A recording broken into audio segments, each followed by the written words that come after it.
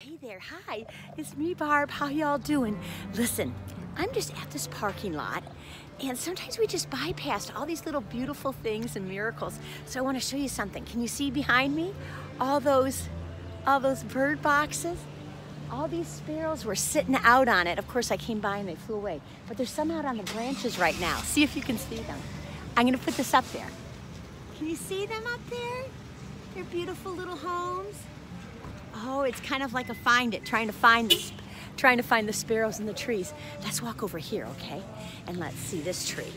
And um, there's another one here. Now, someone just took the time to make these beautiful bird boxes and put them in a tree in the middle of a little island in a parking lot.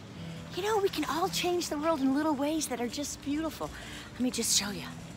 I have parked my car here before and this tree would be just littered with birds. It's probably because I'm sitting here. Can you see the bird boxes? I love life. Look at this.